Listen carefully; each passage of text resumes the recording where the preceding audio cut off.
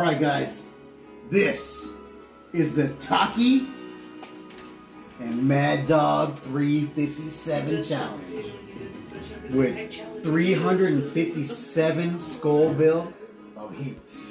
Now this is more than the ghost pepper. This is more than a regular serrano. This is more than a habanero. So let's see what we got. Oh my god. I've got to open it first.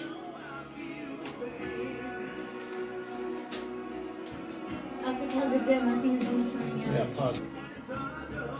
And Just a little drop me. and a drop of oh my goodness, that's too much. Holy moly. Okay. You know what? I don't care. I live that thug life, you know what I mean? Hmm?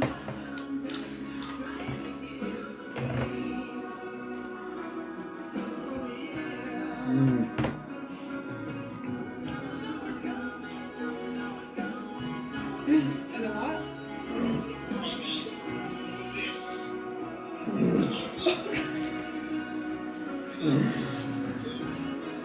Well, it just shows that I'm too gangster for anything. You know what I mean? Comes a little warning in the front, like talking about you better know what you're gonna be getting into. Ain't nothing to me. Uh, well, never mind.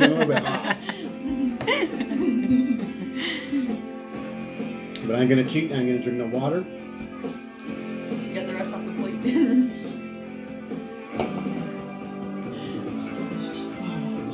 Explain the hotness. So it feels like I just ate a whole bunch of chili, and I got it all over my tongue, and it's like burning. what does it taste like? It doesn't have a taste. It's just pure heat. It's getting hotter and hotter. Oh my god. I think I'm gonna start crying in a little bit here.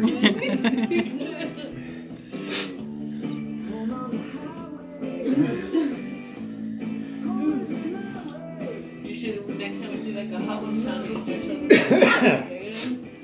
You die for that. But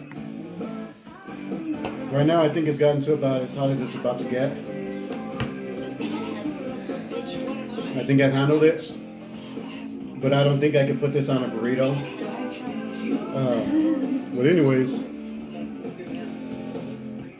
Mad Dog 357, Taki Fuego. I challenge you to eat it and show me your video.